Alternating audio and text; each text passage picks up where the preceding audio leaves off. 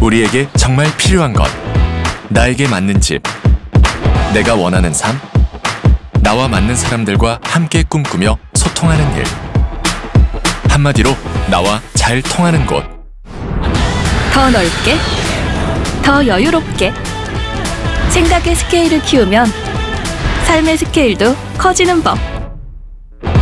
변화에 진심인 사람들이 모여 자유롭게 도전하고 새로움에 익숙한 사람들이 모여 매 순간 더 큰 놀라움을 경험합니다.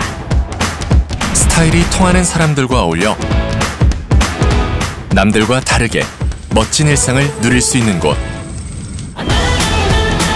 잊고 있던 취향을 되찾고 숨어 있던 재능을 발견하고 남다르려 애쓰지 않아도 젊음이 열정이 돋보이는 순간들. 열심히 일한 만큼 후회 없이 즐기고 때론 강렬한 비트에서 삶의 유연성과 회복력을 배우기도 하죠. 사회라는 정글에 당당히 맞설 수 있게 힘을 길러주는 수많은 기회들. 감각이 통하는, 취향이 통하는 열정이 통하는 결국 나와 통하는 도시. 새로운 삶으로 가득 채워질 김포의 미래.